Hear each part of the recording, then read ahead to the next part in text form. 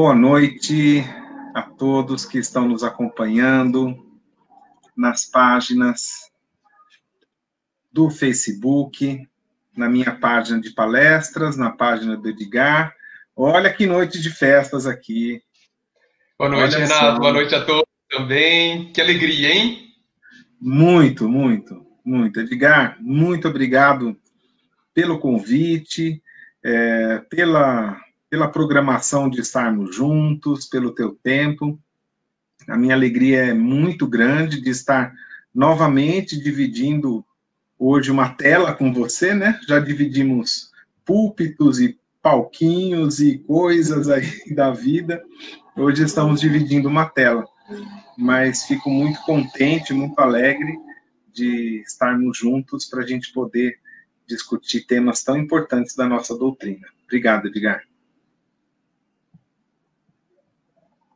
Olha, eu sou eu que, acredito, que, que agradeço demais. Eu tá, é, a gente demorou para fazer essa live, espero que seja a primeira de várias com, com, com alta frequência, que a gente faça várias vezes, porque é tão boa a sintonia que a gente tem nas nossas ideias, na forma como a gente conversa, e é, um, é uma alegria é, estar aqui com você. Inclusive, é, eu compartilhei o, o folder da, dessa palestra e, e eu sou de, de Vera Cruz, ali do lado de Marília, né? Eu falei assim, e aí eu te apresentei a ele, certo? Assim, então, eu conheci o Renato, menino, né? É, poucos anos mais novo que eu na época, e hoje também, claro. Ainda, né? né? Continua a mesma distância, ainda, né? É, mantemos a distância, e a gente se reencontrou há alguns anos, e tem sido realmente uma alegria, isso é muito bom. Que bom, fico muito contente. É, a gente unir esses esforços e ideias para a gente poder, primeiro para nós, né, que a gente acaba fazendo algo que reflete primeiro para a gente, mas se a gente conseguir provocar reflexões nas pessoas, baseados na nossa doutrina, a gente já fica muito feliz, muito contente. acho Sim. que é para isso que a gente faz, né? É para isso também, para a gente aprender, para a gente gerar reflexão, para as pessoas estarem aqui conosco e pensarmos juntos, que é uma delícia a gente conversar, né, com, com seja com quem for, então é, é, muito bom isso também. Muito bom. Vamos começar então, vamos fazer uma, uma oração inicial, é, para a gente sintonizar o nosso pensamento. Acabamos de chegar é, da correria, quem chegou da, da rua, quem está em casa trabalhando, mas também está nos afazeres do que essa, esse novo cenário nos coloca. Então, que a gente possa respirar fundo agora, sintonizar com o alto maior as melhores vibrações, as melhores energias, para que nosso corpo comece a desacelerar um pouco, nossa mente comece a se livrar um pouquinho dos afazeres do dia a dia, para que bons ensinamentos nos possam ser inspirados. Que a espiritualidade maior possa nos guiar, nos intuir, para que as sementes do Evangelho possam ser plantadas nos corações das pessoas que nos acompanham, para que a gente consiga ter sempre um guia, uma luz, para amenizar as nossas dores através da compreensão e do entendimento, fazendo a nossa tarefa um pouco mais produtiva e que a marcha para o progresso, que é nosso objetivo principal, torne-se torne-se mais com passos mais compassados, mais fortes, mais sintonizados com o bem maior que o nosso mestre nos deixou. Que assim seja.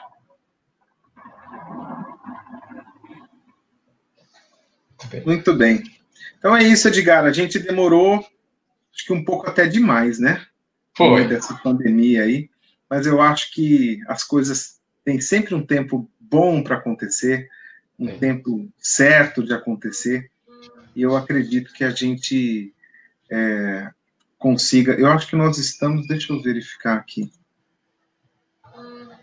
Sim, estamos, estamos com, com acompanhamento aqui. Eu achei que tivesse a tela a tela de, de compartilhamento ainda, mas está tudo certo. A tecnologia vai nos, nos ensinando um monte de coisas, né, Edgar? Nossa, se vai, viu?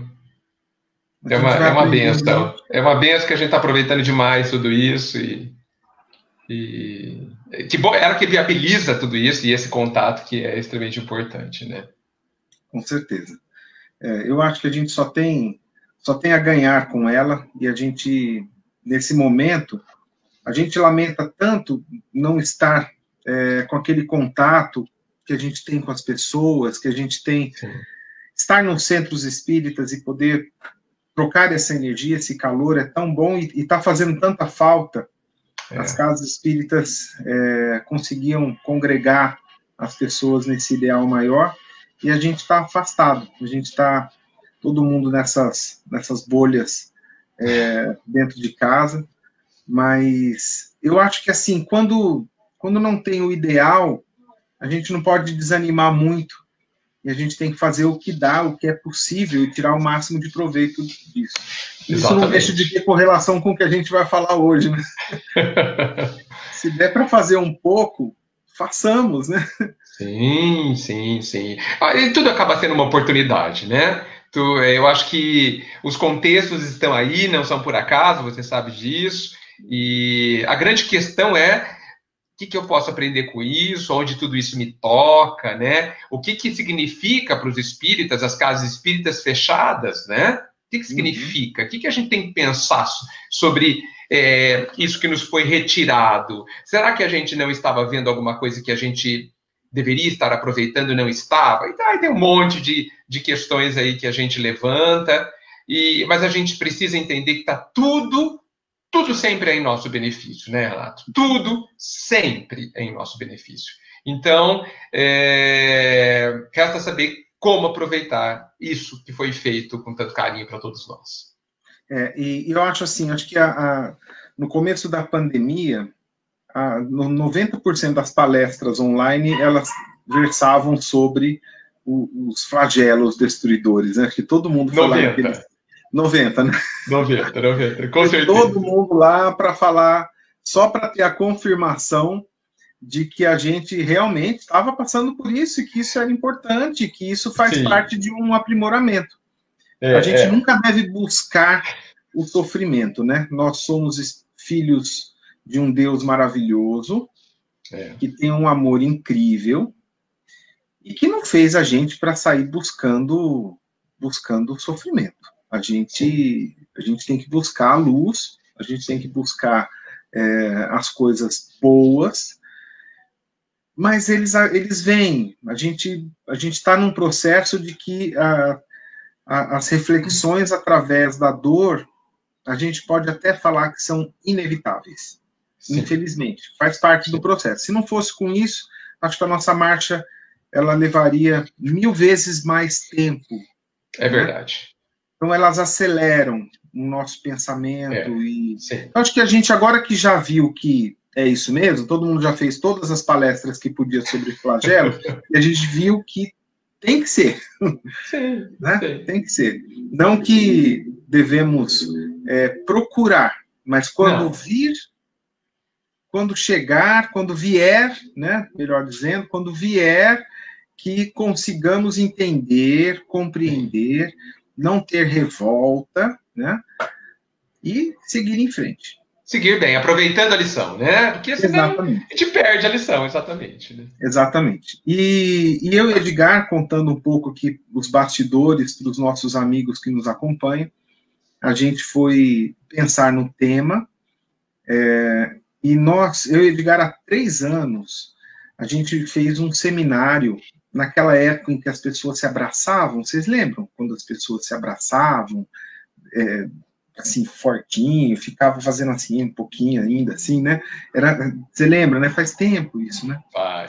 Então, há três anos, a gente fez um, um seminário no nosso querido Centro Espírita Vicente de Paulo, aqui de Bauru, uma tarde deliciosa de sábado.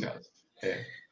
E a gente fez o tema reforma íntima, que foi ótimo, que eu acho que a gente tem sempre que, que buscá-la, estamos aqui para isso.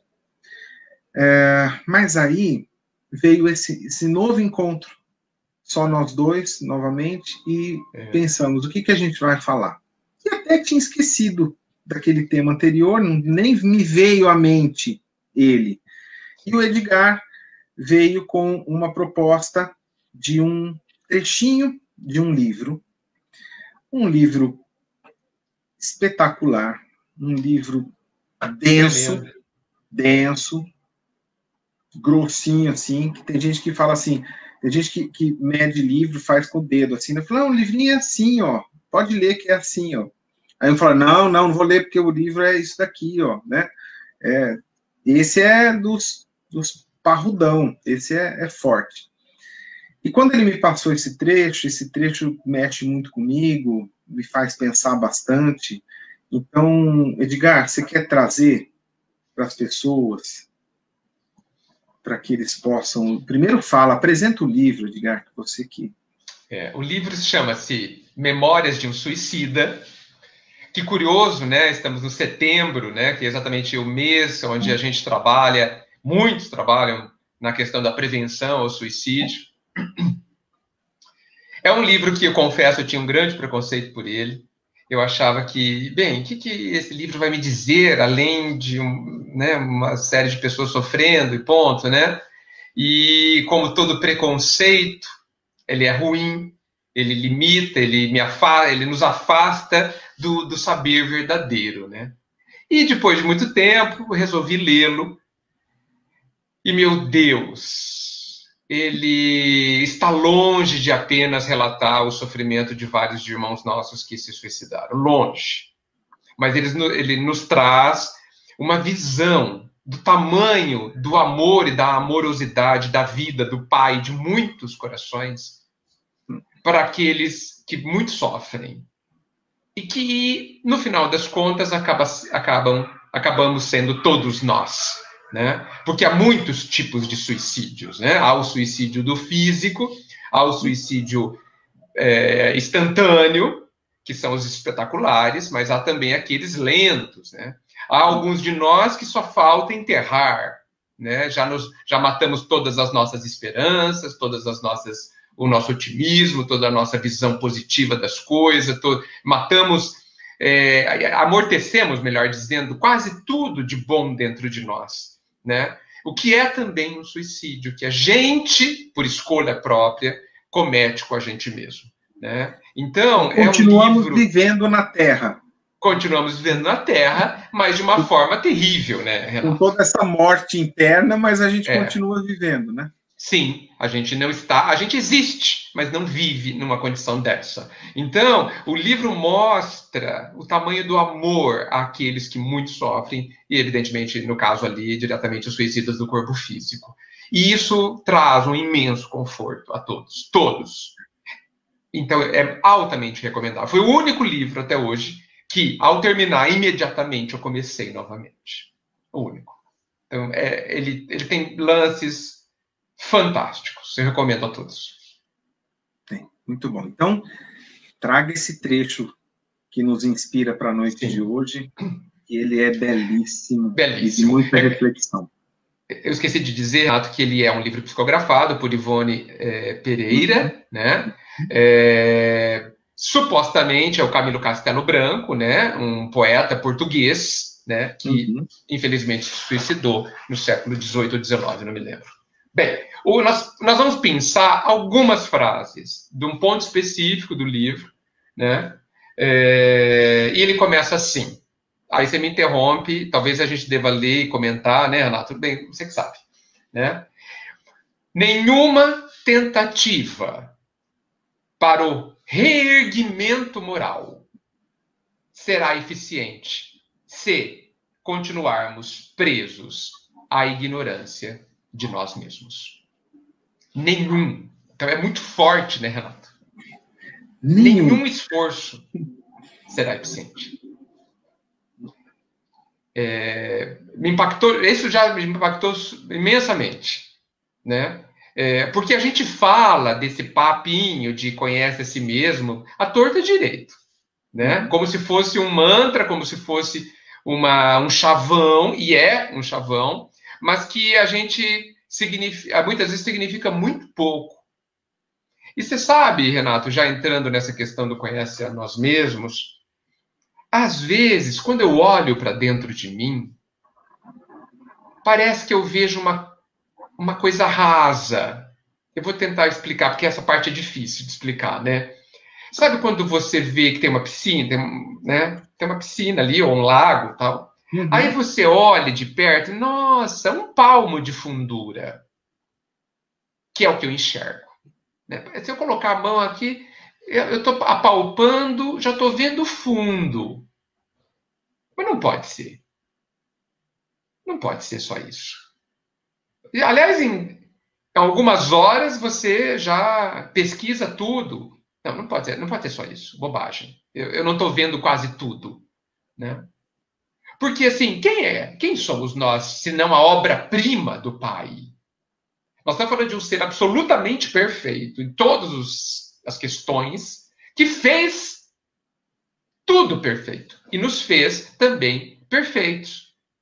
Né? Nós somos já, fomos criados perfeitos. E como diz os espíritos, dizem os espíritos, apenas com uma característica de ignorantes e de simples. Perceba, Renato, e todos, que ele não diz que nós somos inferiores. Ele diz que nós somos ignorantes. E ignorância não é inferioridade. A criança de 4 anos, ela não é inferior porque não sabe ler e escrever, ela é apenas ignorante. Tá certo? Sim. Tá? Então, nós precisamos entender que nós somos feitos de um material divino, de um material nobilíssimo, de um imenso valor, todos nós, mas ignorantes. Tá? Então, bem, então se eu, se nós todos somos tudo isso, então eu não posso ser raso assim. Eu não posso olhar para mim em 15 minutos, está tudo resolvido, sendo que Sócrates, 2.500 anos atrás, declarou que essa é uma das coisas mais importantes que nós devemos fazer. E aqui, de novo, o texto dizendo que nenhuma tentativa de reerguimento moral será eficaz sem isso. Então eu preciso entender que o que eu sou capaz de ver é. A minha capacidade de ver é pequena para dentro. E então eu preciso de outros recursos, eu preciso me empenhar eu preciso buscar com todo empenho quem sou eu.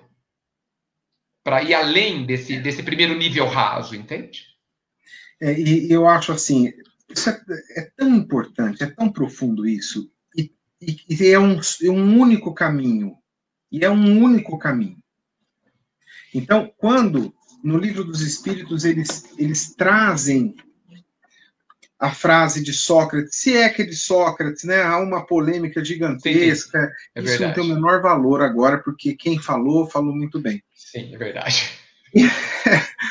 Ele coloca aqui, na questão 919, qual o meio mais, o meio prático mais eficaz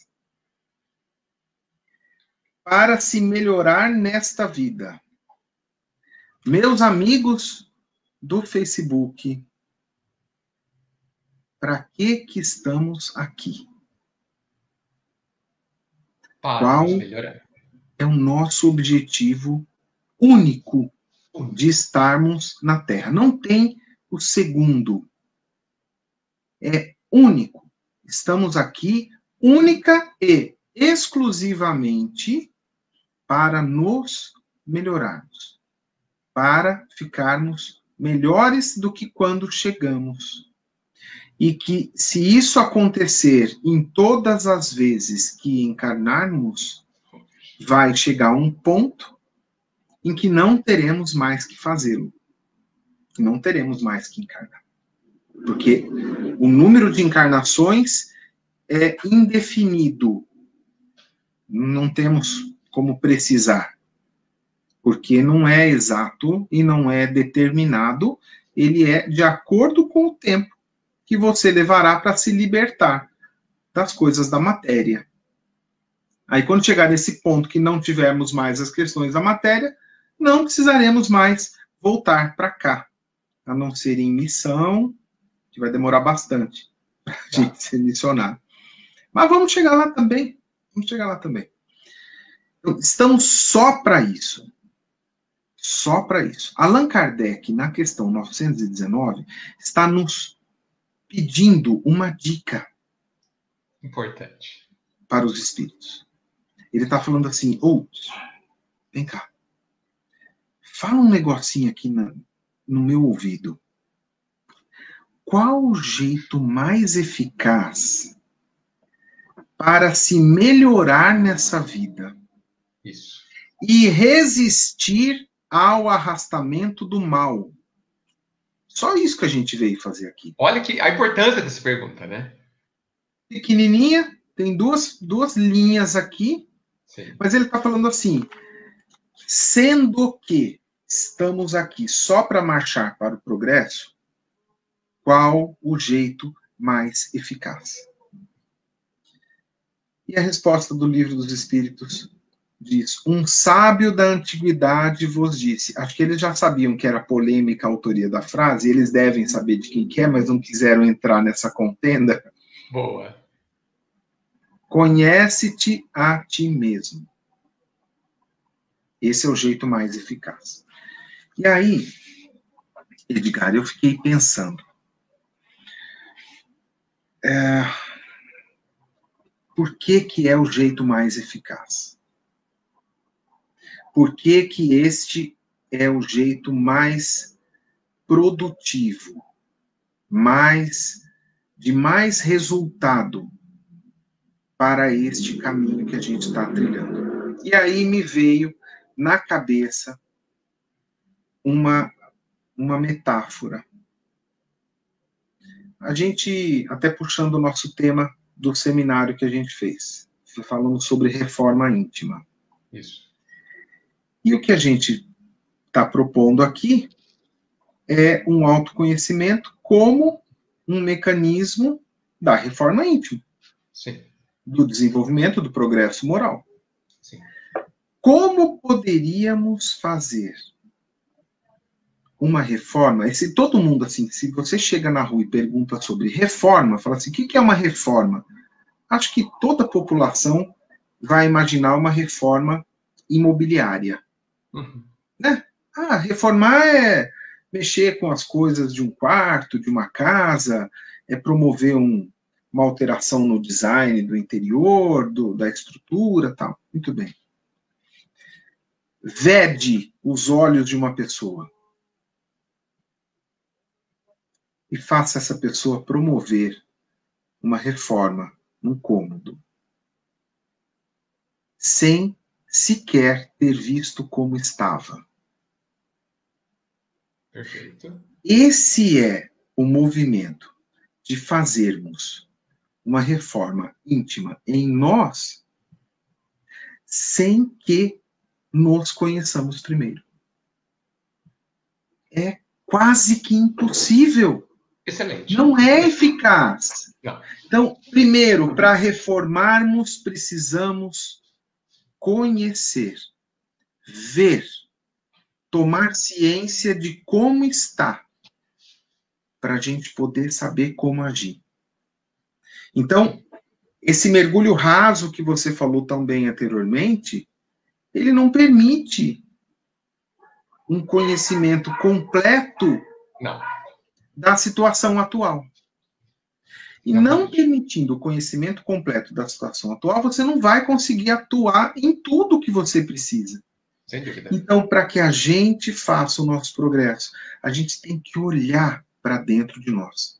A gente tem que tomar ciência de tudo que nos prende à matéria, de tudo que nos arrasta contra o movimento para frente do progresso. Tudo que está no, nos puxando. Sim. Tome ciência de tudo, porque aí você vai conseguir trabalhar com isso. Então, eu acho Perfeito. não tem outro jeito Eu não vejo também. não nos conhecermos. Sim. E veja, Renato, todas, todos os processos de, de transformação, e você- a reforma, como você bem disse, é um deles, passa, passa obrigatoriamente por um diagnóstico.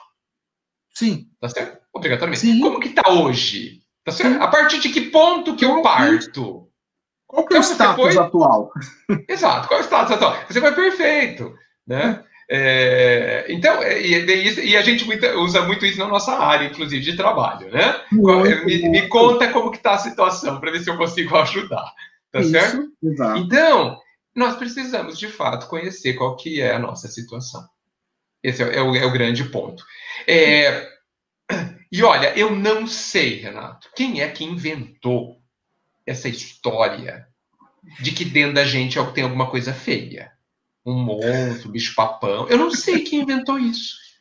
Porque esse, essa quase realidade, quase verdade, porque eu digo, digo quase porque praticamente todo mundo acredita, né? e só de acreditar vira verdade, é, nos atrasa. As pessoas têm, não, eu não vou, puxa, e se eu descobrir alguma coisa? O que é que você pode descobrir?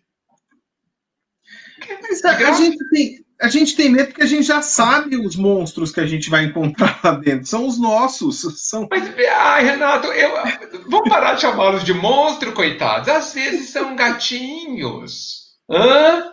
Pode ser monstros mirins. Mas a gente gosta do que esses gatinhos ah. nos promovem. É, Eles tipo... estão ligados às paixões. Sim, e não é que a gente tem medo, acho que a gente não tem medo. E eles não são feios, a gente só não quer se livrar deles. Exato, a gente não quer mexer. Não quer mexer. Não quer mexer. Não quer é. mexer. Exato, exatamente. Qual que é o pior deles? Qual que é o pior deles? O pior deles é você buscar duas, três. Dessa pergunta que eu peguei a 919 aqui, ó. Se você puxar um pouquinho para trás, ó. Um pouquinho para trás, ó. Uhum. 913. Tá. Entre os vícios, qual que podemos considerar radical? Allan Kardec não, não foi à toa, né? Não, não, não.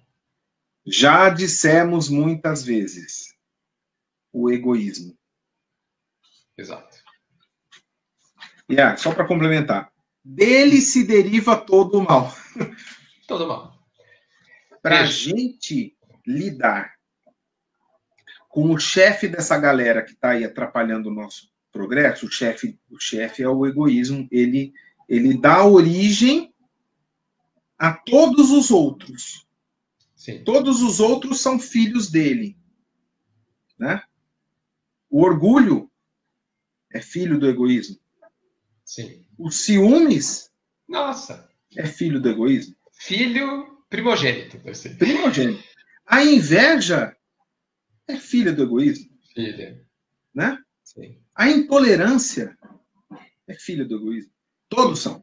Todos. Ele é o pai de todos. Sim. É o pai de todos. Para a gente lidar com ele, porque se você for na origem, você até resolve todos os outros.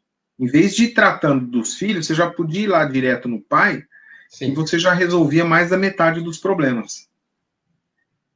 Qual que é o problema disso? Por que, que a gente pinta como um monstro e não é monstro nenhum? A gente pinta como um monstro porque a gente não quer mexer. Isso. Não que ele seja feio. Não que ele seja feio. Sim. Porque para a gente se livrar dele, a gente tem que abrir mão dele. do que a gente detém para nós, do que a gente fica puxando para nós. A gente tem que abrir mão e dar para os outros. Isso. E fazer da nossa vida uma vida menos eu e mais os outros. E a gente não está afim de fazer isso. Não está. E aí, não, Renato, olha, você foi preciso.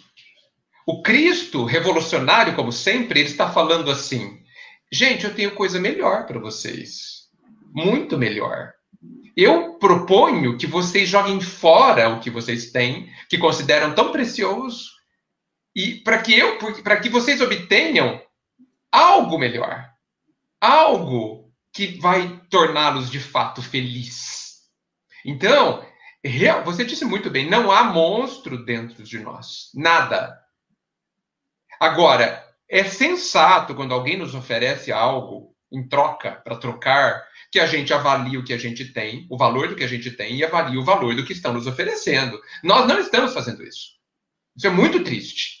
Porque a parábola do. Aí eu não lembro os nomes das palavras da parábola. A, a parábola do, do tesouro descobriu um tesouro no campo, voltou, escondeu o tesouro, voltou, vendeu tudo que tinha. Ou seja, tudo que ele tinha tinha menos valor que o tesouro que ele encontrou. Tudo que nós somos capazes de encontrar dentro de nós tem menos valor do que o Cristo nos pretende dar. Ou do caminho que ele nos oferece para que a gente conquiste o valor, o tesouro verdadeiro. Né? Então, é, nós, veja, esse ponto, você percebe, ele está recheado de grandes enganos de concepção. Monstros que não são monstros. É, nossa, eu não quero perder o que eu tenho, mas o que você tem é uma pobreza. O que você tem é medíocre. O que nós temos é medíocre. Nos mantém numa miséria de toda a espécie.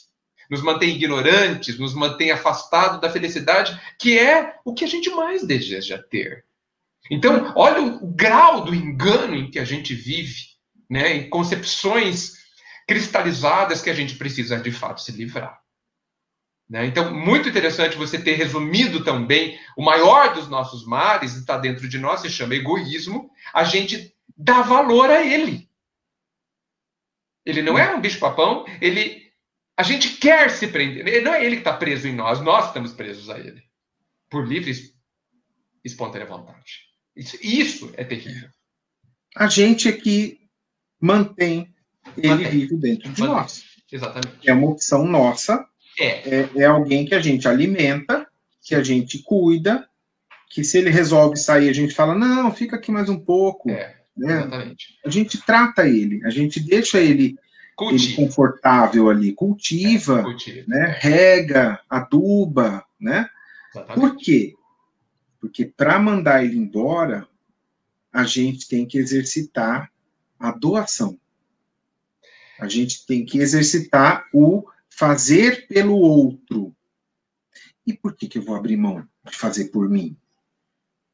Ninguém abre por mim, ninguém faz que não eu por mim. Se eu não fizer por mim, quem vai fazer? Então, o nosso olhar é exclusivamente para nós. nós e veja, veja, olha só que interessante. As suas perguntas, que são de todos nós, são as perguntas do egoísmo. Do egoísmo. Porque do, nas suas perguntas só tem um sujeito, que sou eu. Só eu. Eu. Eu estou calculando qual seria o meu prejuízo, evidentemente, sobre essa ótica da ignorância que o egoísmo nos traz. Né? Exatamente. Então, fantástico, é perfeito. Eu acho que nós estamos num ótimo pronto para eu terminar de ler e aí encerra, não a palestra, é claro, mas encerra o texto. Essa, esse trecho, ótimo. É. Então, bem, então nenhuma tentativa de reerguimento será válida sem o, o a, se a gente ficar preso à ignorância de nós mesmos. Você percebe que ele coloca de outra forma. Sim. Não é o conhecimento, a ignorância de si mesmo. Ele continua, será indispensável. Ou seja, não há outra forma. Primeiramente, antes de tudo, averiguarmos quem somos, de onde viemos e para onde iremos a fim de que nos convençamos. Você sabe que essa primeira parte a gente já conhecia, né? Da onde a gente, quem somos, de onde viemos, de onde vamos, a gente já tinha ouvido falar, né? Tá, eu estou com o fio do notebook deslocando aqui. Tô... Coisas do ao vivo, né? Você sabe claro, coisas claro. do ao vivo? Eu te espero, eu vou, então. Vou pôr ele numa tomada aqui que ele estava tá. ele estava querendo. Deixa eu ver se ele voltou à realidade. Senão você vai cair, não queremos isso. É, já pensou se eu caio aqui? Vamos ver se ele volta. Sim. Eu acho.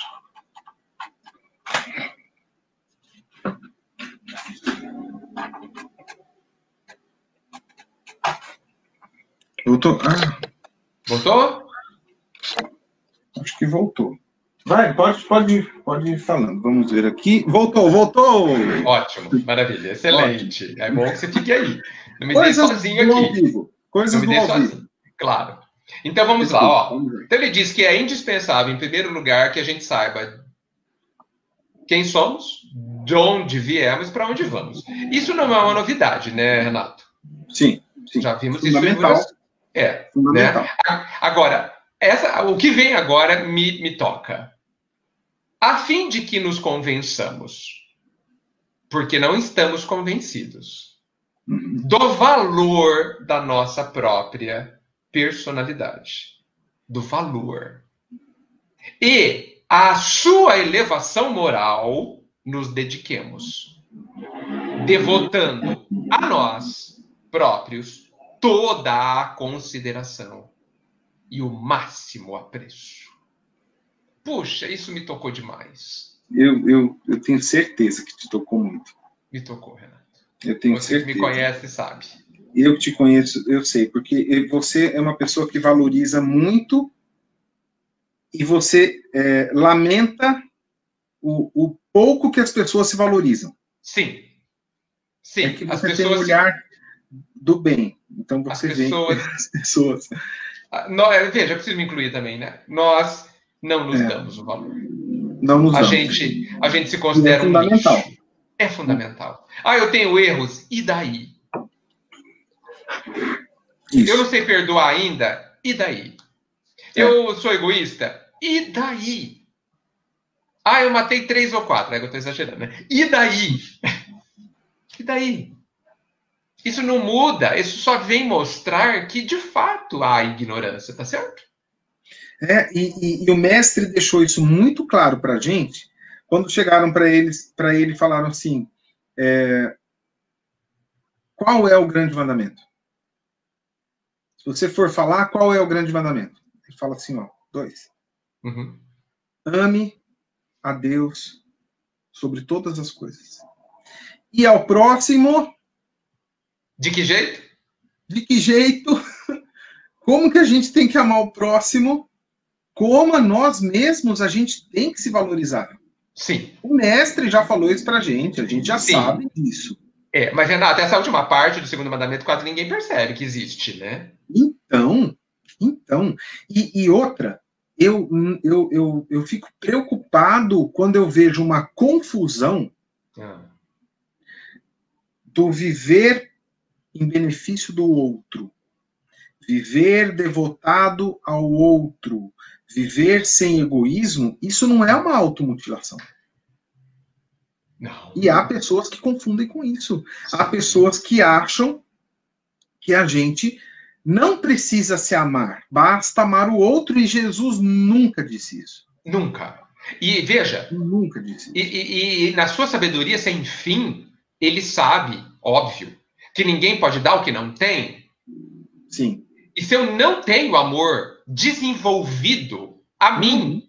eu não tenho a ninguém. Desculpa Sim. quem nos ouve, né? eu me incluo nisso, mas basta ver como estão as nossas relações afetivas.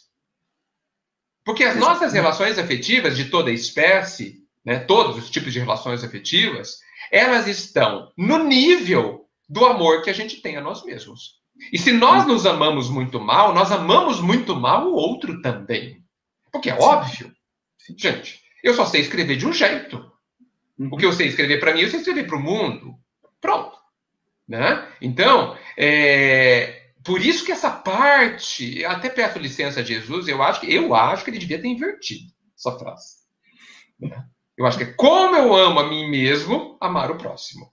Né? Eu acho que as pessoas mais didático. Fiquem, né, ficasse mais. É que, é, é para ele, para ele era tão natural né? Não, é. que ele já tinha sido didático o suficiente. A gente, já, é que não, é, a gente é que não assimila, né? Porque... eu que estou forçando a barra aqui, né?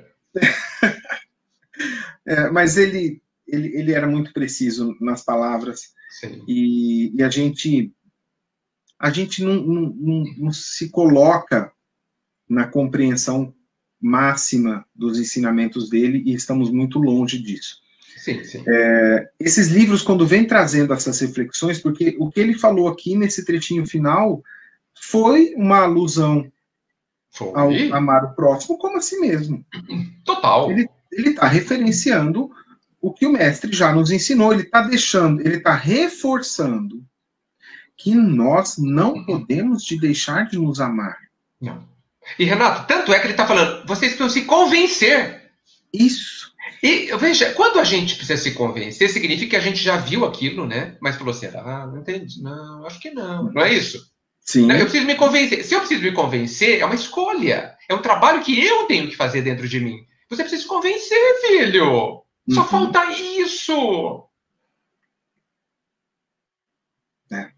É, a, gente, a gente fica patinando muito, com tantos conhecimentos à disposição e com tanta consciência que a gente tem de possibilidade com esses livros maravilhosos, com as experiências, com tanta coisa que a gente tem das pessoas, é, falta, falta, eu acho que a humanidade é,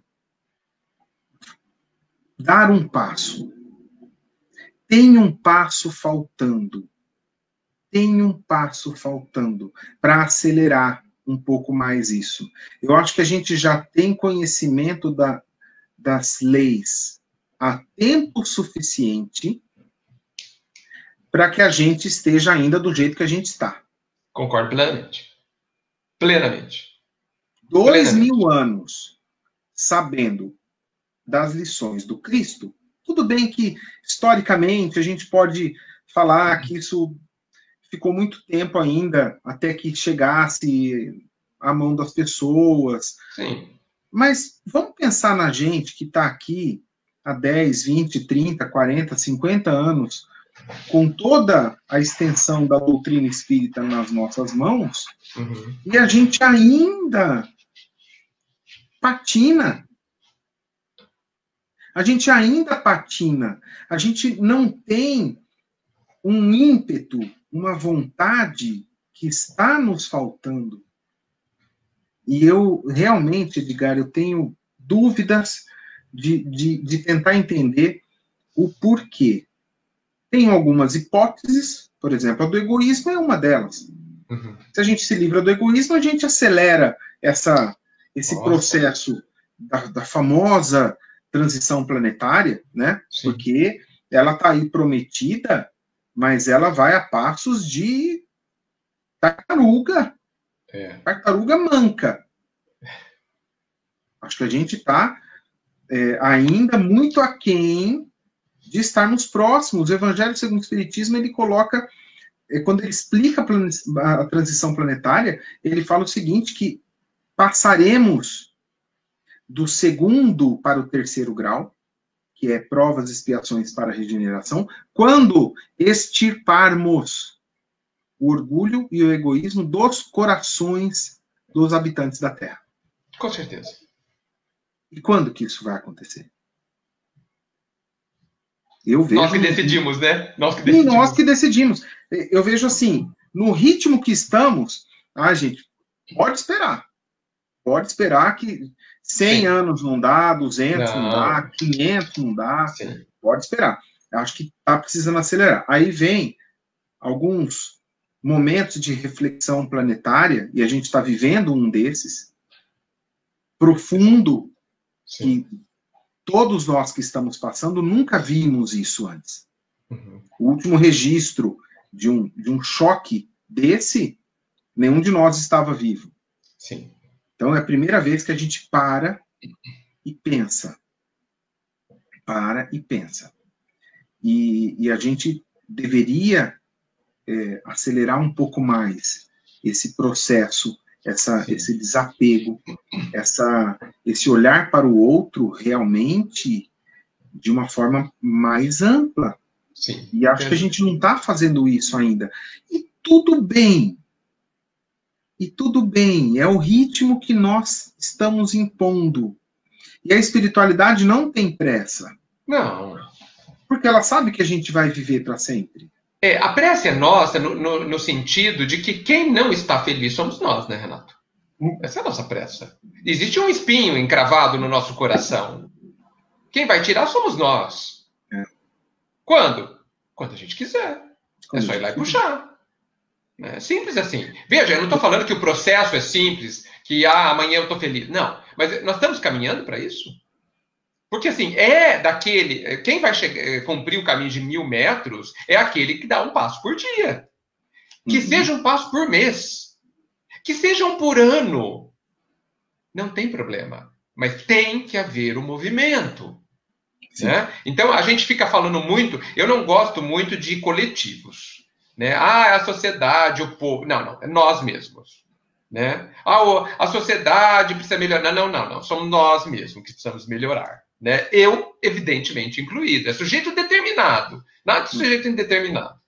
Né? Ou esses coletivos aí, onde parece que a gente não está dentro do, é, do, do conjunto. A gente está falando de outra é, humanidade, é, não O povo não entende, eu também não. tá certo? Porque eu, tô, eu sou povo também. Né? Uhum. Então, é, e veja, Renato, no final das contas, é, eu não posso fazer, eu posso, é assim, a minha margem de manobra em relação ao, ao meu próximo, para estas questões de reforma íntima, a essa margem de manobra, o que eu posso fazer tem sérias limitações. Porque nós já sabemos que o outro só vai se transformar, e eu só vou me transformar, quando a minha vontade entrar em ação. Então, o que, que eu posso fazer quanto ao outro? Eu posso apoiar, eu posso uma série de coisas, mas o mais importante de todas as coisas que eu posso fazer é dar o exemplo. Só que para dar o exemplo, eu preciso me tornar. Por isso que eu gosto de pensar que se a gente ama muito os nossos filhos, os nossos pais, os nossos amigos, cônjuges, enfim, o maior ato não egoísta que a gente pode fazer, no meu entendimento, é ser feliz. Olha só o que eu estou dizendo. Parece, parece um paradoxo. Para que eu seja o menos egoísta possível, eu preciso ser realmente feliz. Porque para que eu seja feliz, eu preciso cumprir o caminho do Cristo. E isso vai exigir profunda alteração interna e externa da minha parte, vai exigir profunda, o profundo uso de esforço de vontade, e isso será um enorme fator de impulso, de influência a todo mundo que me cerca. Então, amo realmente as pessoas que amo, então seja feliz. Ah, eu quero ajudar os meus filhos. Então seja feliz. Ah, eu quero ajudar as pessoas, quero ajudar todo mundo que vem no centro. Seja feliz de verdade. Seja feliz não é ficar rindo para cima e para baixo. Tá? É ser feliz. De verdade. É ter, no final das contas, traduzindo é ter paz na consciência e agir com os cuidados que a gente precisa ter. Então, assim, você sabe que, às vezes, é, assim, eu vejo a gente falando que a gente veio aqui para evoluir, para melhorar, tal, tal, tal.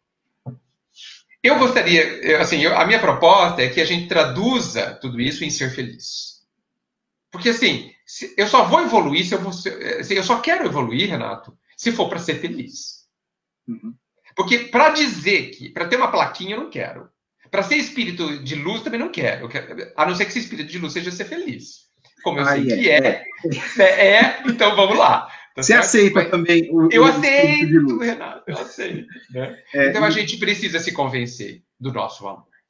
Edgar, é tão, é tão preciso isso que você fala, porque assim, a gente fica, a gente fala muito na transição planetária sobre o, o próximo passo do planeta de regeneração. Sim. A regeneração não é nada assim tão maravilhoso também. Ela é um descanso. É os planetas de regeneração, o mal já não predomina. Mas tá lá. Ele tá lá. Mas ele já não mais predomina. Mas ele é, de acordo com as palavras do Evangelho segundo o Espiritismo, um local de descanso pela luta árdua que foi travada anteriormente. Nossa. É um descanso pela luta árdua.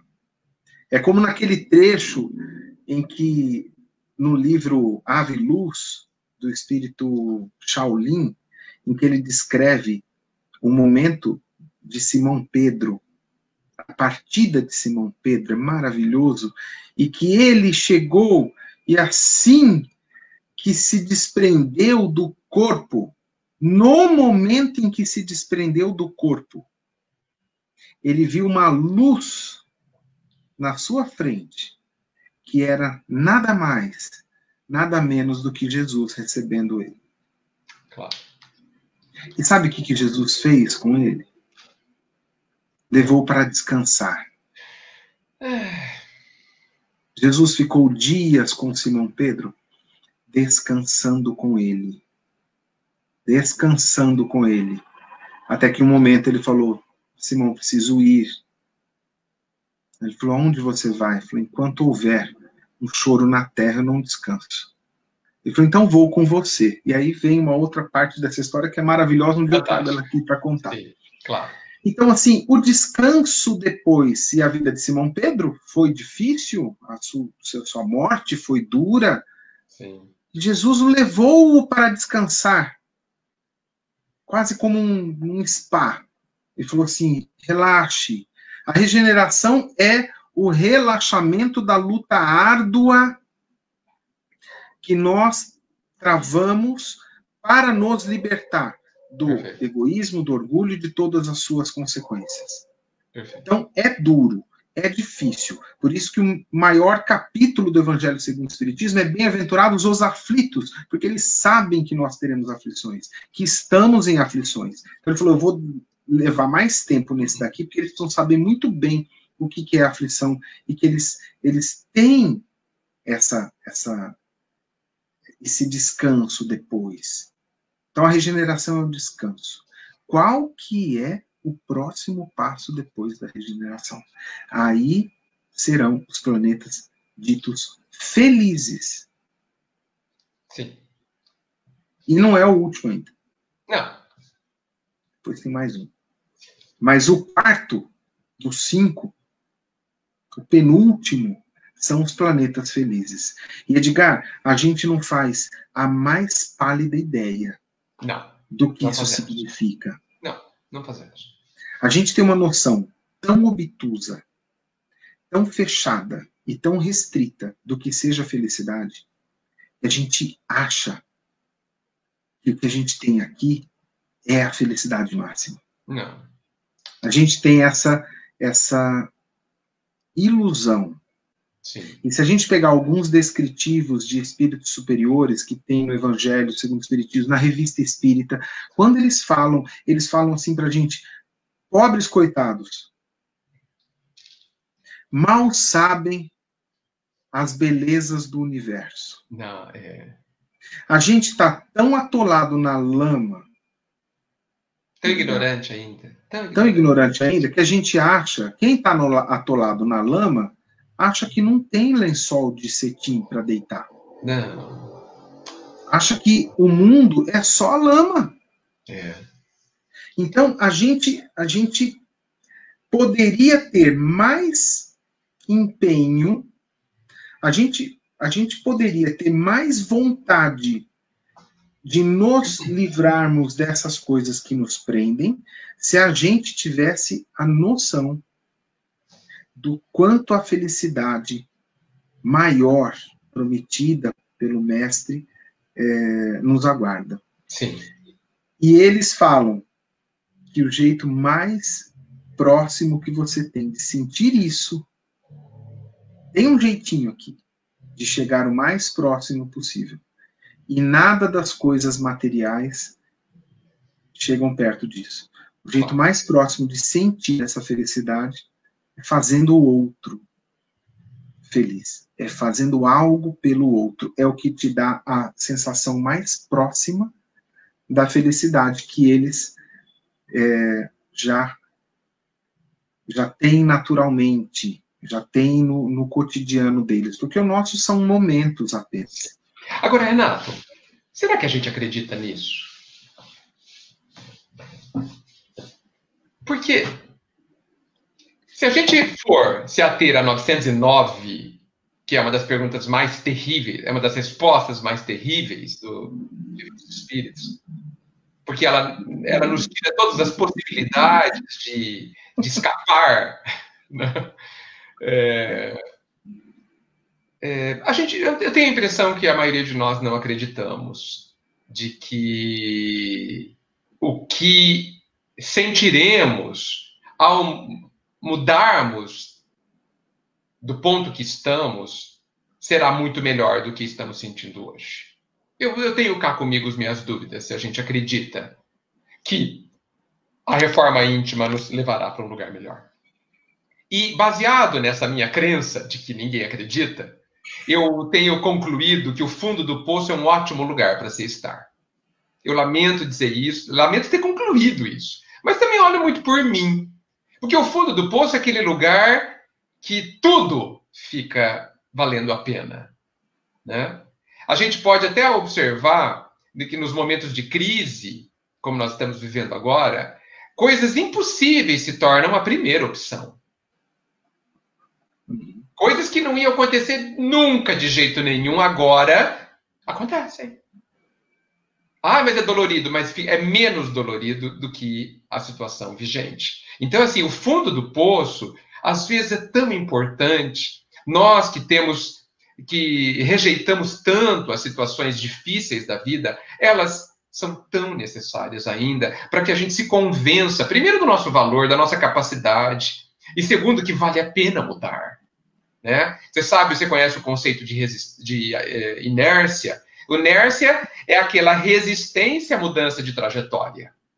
Né? E quando é que a gente muda? Quando que a inércia perde força? Quando uma outra força vem a influenciá-la para outro rumo, para uma parada, para um avanço, não importa. Então nós precisamos de uma força que seja, que não, que, o ideal que seja interna, através da vontade, mas muitas vezes ela é insuficiente. Então nós precisamos que a vida nos ajude, trazendo essas coisas que a gente inventou chamar de tragédias, né? E que são na verdade grandes impulsos para que a gente reflita no que é de fato importante. O que é de fato importante que a gente deve dedicar a nossa vida, a nosso esforço?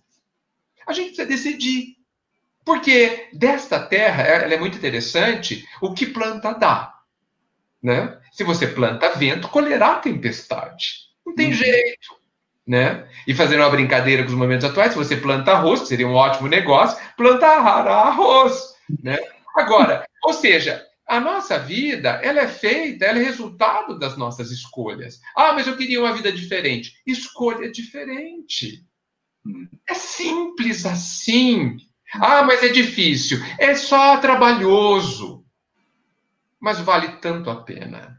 Né, Tem uma frase que eu uso em algumas palestras que é o seguinte: a pessoa fica pedindo fervorosamente para mudar a qualidade dos frutos que ela tem colhido. Mas ela se recusa a mudar a semente. Brilhante, Renato. Se recusa. Ou seja, é uma infantilidade, certo? Eu não quero mais colher maçãs no meu quintal. É simples. Mas eu continuo semeando as maçãs. Sim. Eu adoraria que fossem bananas, mas eu não vou plantá-las. Como que, como que isso pode acontecer? Que milagre que vai ser esse? Como que você muda a qualidade da colheita sem mudar a semeadura? Não tem jeito. Então a pessoa chega e fala assim, porque as pessoas continuam me tratando mal, as pessoas continuam não me respeitando, as pessoas continuam sendo ignorantes comigo. Tá. Vamos lá atrás. Sim. Vamos ver essa sementinha que foi plantada. Sim. Você respeitou-as, você é, tratou-as bem, você teve amor no trato e nas considerações, para que você receba de volta. Ah, não, não, mas aí também eu quero ser bem tratado só. Eu não estou afim de tratar bem. Eu quero só receber. Aí, meu amigo, nem só. Newton, nem não. Newton te deixa. Não. Nem a física te deixa. Não. Exatamente. Porque a terceira lei dele, de Newton, estabelece que há uma, uma ação e uma reação que o universo vai devolver para você isso daí. Perfeito. Vai devolver. Então, o ser humano questiona os frutos, Sim. mas não abre mão das sementes. Esse é o problema. Aí está todo o problema. É. Né? Então, a gente precisa. E, to, e toda a solução. E toda a solução.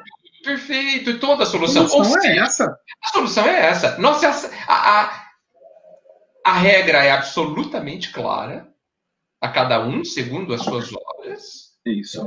A lei da física vem reforçar tudo isso.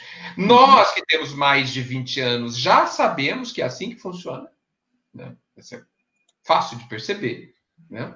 Agora, eu quero saber, é, o que nós precisamos decidir é se eu estou disposto a não viver mais uma vida infantilizada, uma vida de quem é, quer plantar maçã e colher banana, conforme você bem explicou, que é uma infantilização do processo, é uma, é, né? Ah, mas eu peço para Deus para ele me dar paz. Ele não vai dar.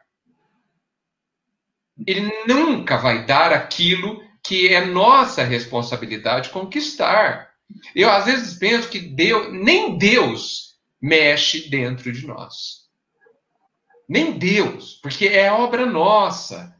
Sabe, Renato, é assim, nós precisamos, no meu entendimento, começar a, a buscar viver o que eu tenho chamado de autoadmiração. Porque, assim, a admiração dos outros dura uma felicidade de mais ou menos o máximo cinco minutos. Bem fugaz, bem rarefeita. Os uhum. aplausos para qualquer celebridade dão um prazer de cinco minutos, quando muito. Sim. Agora, quando eu me auto-admiro, quando eu falo, puxa vida, eu consegui fazer aquilo. Ninguém viu, que bom, mas eu fiz. Eu sei. Essa, essa alegria, essa, esse bem-estar dura talvez para sempre. E é disso que a gente precisa ter. Tem tudo a ver com o que você colocou, que é a alegria de poder ajudar alguém. E esse, nesse Exato. alguém, nós estamos no meio. Né? Uhum. Porque uhum. o amar a si mesmo envolve que eu também me ajude. Porque tudo indica que até hoje eu só tenho atrapalhado. Eu só tenho atrapalhado. A minha própria vida, não estou atrapalhando os outros, também, né? Mas a mim, eu tenho feito da minha vida a pior possível. Por quê? Por quê? Um processo infantilizado de pensar a vida, de esperar. Ai, não, eu acho que eu orei pouco. Mas orar muito, orar pouco, não traz reforma íntima. Tá certo? A oração tem outro propósito, ela é profunda, importantíssima dentro do processo, mas ela não vai criar dentro de mim o não egoísmo. Tá certo? Então, é, esse amadurecimento me parece absolutamente necessário. E tem a ver com o que ele fala da gente se valorizar né, no texto. Né? A gente reconhecer o próprio valor, a própria capacidade. A gente, é, muitas vezes a gente se pega falando que a gente adoraria a infância, a infância é um período tão bom, né? E às vezes eu penso se isso é, não é uma tentativa da gente voltar a uma época de inconsequências, de inconsciência, né? É claro que ali a gente é, era mais fácil, né? Porque a gente podia fazer o que quisesse, a nossa consciência não nos segurava, né? Não nos culpava, né? Aquela coisa. Sim, sim, sim. Mas também a gente não decidia coisíssima nenhuma também. É. Né? Por quê? Porque éramos incapazes. Éramos, estávamos assim, começando a tomar conta, a cair em si. Né? Então, essa, essa vontade, essa saudade da nossa infância, me parece que tem por trás a isso uma vontade de permanecer infantil. E nós precisamos é, parar de brigar com a responsabilidade, com o dever, como se eles fossem coisas pesadas e ruins. Eu gosto de pensar que o dever é o caminho mais fácil. Porque o caminho atual do não dever, o caminho que a gente tem, está se, acostum, é, a gente se acostumou a viver, ele é muito pior e muito mais difícil porque ele nos mantém amargurados, entristecidos, depressivos. E você falou uma coisa, você falou uma coisa interessante que você fala que acredita que nem Deus faça mudanças dentro de nós. Não acredito que ele faça isso. E se ele fizesse, ele seria, é, ele não seria justo como nós sabemos que ele é. Exatamente. Porque senão ele teria que fazer a mudança em todo mundo. Todo mundo. E aí a nossa marcha fica sem sentido, porque ele vai chegar lá e vai fazer isso daí. Ele já Mas eu acho. Exatamente. Mas eu acho que ele toca. Sim. Ele toca. E ele aí, toca. Quando você falou isso, me fez lembrar a parábola do bom samaritano. Ela tem um, um momento dela que ela, ela, esse momento passa desapercebido quando a gente passa correndo por ela. Uhum que fala assim, que o samaritano foi tocado de compaixão. Uhum. Foi tocado de compaixão. Perfeito. Esse toque de compaixão sugere que ela não estava latente lá dentro dele, assim, gritando. É. Uhum. Mas ele passou por alguma questão, ele foi tocado pela compaixão. Sim. Talvez por Deus. Talvez. Veja, ele, claro que eu não estou falando que ele fica ali ignora, é, é, insensível a nós. Não. Mas assim, não. o trabalho nosso é nosso. É, tem aquele dito popular, né, Gustavo? Desculpa, Renato. É, que fala o seguinte: ore para Deus, mas amarre o cavalo. Sim, claro. Tá claro. Mas claro. o cavalo vai fugir. Né? Exatamente. Ou seja, é o que eu posso fazer. Eu preciso fazer. Eu acho que naquele momento em que, em que ele é tocado de, de compaixão, ele teve um, uma alternativa. Ele tinha duas. Ele podia fazer a mesma coisa que fez o levita. Sem dúvida. Ele podia ter feito a mesma coisa que fez o, o, o sacerdote que Sem passou dúvida. por lá Sim. E não fez nada. Mas ele foi tocado de compaixão e decidiu. A gente decide. Decide? A gente decide, a gente escolhe. Sim, porque eu posso recusar a compaixão, né?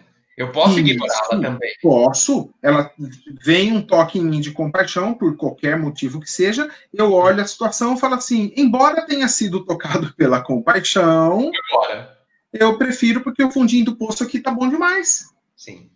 Né? Da, da sua alegoria aí do, do, do, fundo do poço. O fundo do poço, para quem só conhece o fundo do poço, ele é um paraíso. É. E esse é o problema. A gente não conhece a luz, a gente maior, a gente não sabe a, a, a extensão da felicidade ainda. Sim. Né? Então, cabe sempre a nós. A decisão é sempre nossa. A decisão é sempre é, tomada por uma vontade. E a vontade tem que ser maior do que o arrastamento da paixão. Perfeito. Quando é uma balança, a gente tem as paixões e as vontades de, do bem, Sim. né? O, a hora que um pende para um lado e outro para o outro, mais para um lado, mais para o outro, é onde a gente toma a decisão. E isso é uma coisa subjetiva. É. Porque é uma decisão. Você pesou um monte de coisa, você falou assim. Naquela hora você fala assim: do que, que eu vou ter que abrir mão para optar por isso daí? Sábado à tarde, ir lá para ajudar e. Que tesouro ah, eu vou ah, vender, né? Que tesouro eu vou ter que é. vender? O que, que eu faço com isso? Que você, Vê que, você vê que é, é nesse ponto que eu acho que a gente não acredita que essa troca é vantajosa? A gente não acredita. Né? É, Porque dependendo da expectativa. Mas é que é tá, difícil, mas vale a pena? Porque se vale a pena, eu faço. Não é? A gente não é assim? Quantas, quantas vezes você trabalhou de madrugada? Quantas vezes você trabalhou de noite? Por quê? Porque valia a pena. Uhum. Porque valia a pena. Né? A gente gasta a nossa vida com o que vale a pena. Mas a gente tem escolhido gastar a nossa vida com coisas que não valem a pena. Sim, sim. Não deixemos para a gente ter certeza disso muito tarde. Uhum. Né? Porque o tempo passa muito rápido. Muito rápido. Muito rápido. E passou muito rápido esse tempo agora nosso. Olha, eu nem me disse por isso, mas é verdade, né? Considerando é. eu, eu peguei o teu gancho aí, a gente já está há um tempinho. Eu, eu, eu tenho, assim, algumas certezas já depois dessa uma horinha e pouquinho que a gente ficou junto aqui. Primeiro que não vai ser a única. É sem dúvida que não. Ainda bem. É, acho que a gente tem muito para conversar. Sim. Eu gostaria de agradecer as pessoas que mandaram comentários, alguns eu consegui aqui colocar para que as pessoas vissem. Tem bastante é. comentário, está muito bacana, as pessoas é, participaram, gostaram da conversa. Eu acho que a gente tem muito o que falar ainda, que bom. Sim. Então, outras virão. Aguardem nas nossas redes sociais, aí a gente vai divulgar mas com certeza outras virão, ainda bem. Com e, então, a gente agradece a presença de todos. Eu agradeço muito, Edgar, por ter estado aqui comigo, com a sua intuição, com o seu conhecimento, com a sua sensibilidade que sempre nos toca. E então eu deixo para você fazer suas considerações finais, para a gente ficar num tempinho dessa uma hora, uma hora e pouquinho, para que quando venha uma próxima, as pessoas falem assim: ah, é um encontro que é bacana, não cansa muito. Se deixar, a gente vai ficar aqui até meia-noite, né? É, mas é, a gente precisa ter equilíbrio, né? Como... Equilíbrio, e as pessoas estão em casa e estão tem outras coisas, outros afazeres para fazer, e a gente vai cuidar de tudo. Sejamos Marta e sejamos Maria. Né? Excelente, muito bem lembrado, Renato. Um bom equilíbrio. Equilíbrio, sempre. Eu queria agradecer realmente a todo mundo e é uma alegria ter a energia de todo mundo que está aqui, né? É... Olha só quem que eu trago aqui, ó. Olha só! Minha mãe querida, um beijo. Grande beijo, dona Rosa. Prazer. Um Espero que a gente se veja logo. Espero que a gente se veja logo. Vai ser um prazer abraçá-la. E assim, agradecer a energia de todos, porque se a gente não está presente fisicamente, eu sei que os corações são plenamente capazes de estarem juntos, né? Então, é isso que vale, na verdade. Queria agradecer você também, Renato. E assim, vamos logo marcar outra, porque realmente, de tão bom, parece que faz dois minutos que a gente começou. Né? Tá, parece que a gente começou a se aquecer agora, mas. Agora, agora que começou a ficar bom. É, mas, mas bom, eu acho que chegamos a um ponto importante. É, uhum. Sim, chegamos a um ponto importante para que nós e todos reflitam. Então vamos agradecer ao mestre a sua permissão por estarmos aqui, todos nós. A sua permissão a sua luz que nos ajuda nas reflexões, mas mais do que as reflexões, nos ajuda a que o nosso coração se sensibilize, se toque, se alerte, se assuste se necessário for. Para que a gravidade destas questões ganhe, de fato, destaque dentro das nossas vidas. É, o evangelho é urgente em nossas vidas, é urgente. E para isso, ele aguarda as nossas decisões. Não decisões grandiosas, como de um Francisco de Assis, necessariamente, mas pequeninas decisões, salpicadas no meio do dia, que vão aos poucos alterando a vida inteira. Nós pedimos, mestre, a tua luz neste sentido, porque sabemos da nossa vontade vacilante, pequenina, ainda em crescimento. E nós já te agradecemos porque sabemos que o Senhor está conosco, com esta luz brilhando, enchendo o nosso coração, confiante, total na nossa capacidade mantendo a sua mão estendida para cada um de nós. Obrigado, Mestre, que possamos guardá-lo no nosso coração. Que assim seja. Que assim seja. Querido, muito obrigado. Obrigado pela presença, muita paz. Amigos que acompanharam, obrigado pelos comentários carinhosos. Em breve estaremos juntos aqui, com certeza. Boa noite a todos. Até a próxima. Tchau, tchau, gente. Tchau, Renato.